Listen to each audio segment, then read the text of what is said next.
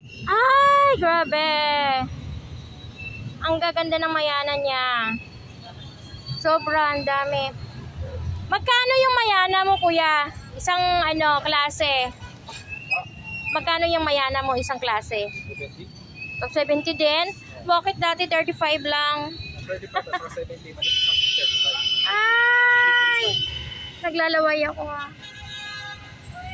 Grabe, ang ganda. Yan, magkano yung hanging plants na yan? Ito kuya. Saan na? 150? Ay! Ay! Kung makikita nyo, grabe oh. Grabe yung halaman niya. Ay, ang ganda. Naglalaway ako. Ang dami. Hmm, dami. Ganda. Ay. Grabe. Ang gaganda niya.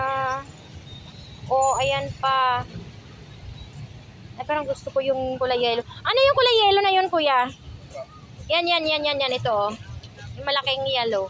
Temptation. Ha? Pangalan? Temptation? Wala. Y- mm. Dami. Yan, ang ganda. Gusto kong bilhin lahat ng klase pero wala akong pera. Sino mag-sponsor? Ayan, ang dami. Tapos ito lang tatlo yung binili ko. Oh. Ayan, oh. Ayan.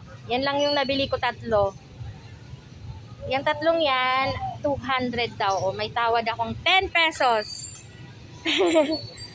Ayan, kung gusto nyo bumili, dito lang kayo pupunta sa may Pasig Palengke.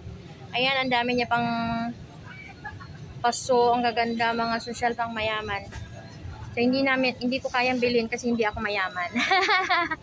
ah, kuya, naka-vlog ha. Please subscribe my YouTube channel, Ate Carlitz Vlog, and my FB page, Ate Carlitz. So, ayan na. ang dami, grabe, ang dami. Ano ba yan? Ayan, nabili ko na ko yan po, tatlo. Thank you, thank you. Diyan, diyan, diyan, galing po. 70. Thank you everyone for watching.